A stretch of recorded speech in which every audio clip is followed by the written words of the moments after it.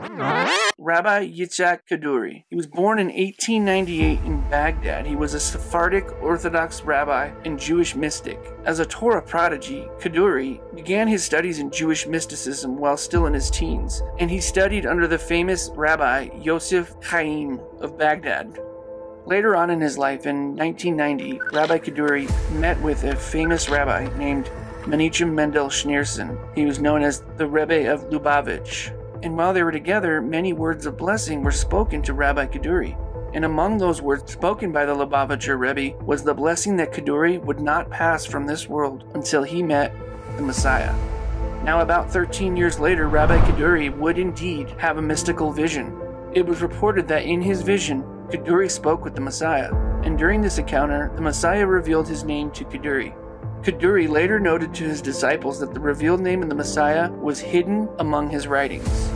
Rabbi Kaduri died on January 26, 2006, at the age of 108. Then Kaduri's disciples came across a note written by Kaduri in which was encrypted the name of the Messiah. This note contained instructions saying that it was not to be opened until a year after Kaduri's passing. His funeral procession was one of the largest in attendance in modern day Israel. During his life, thousands of people came and visited him to seek advice, consecrate amulets, or ask for blessings and healings of various diseases. His disciples even told of miracles. As a result, in his old age, he was increasingly asked about political topics. In fact, Kaduri was regarded as a prophet by his followers because he could also predict some events in the future.